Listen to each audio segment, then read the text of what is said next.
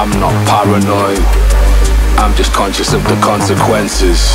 How the most minuscule of actions can easily tip the scales or even dull the senses. Senses, senses, senses.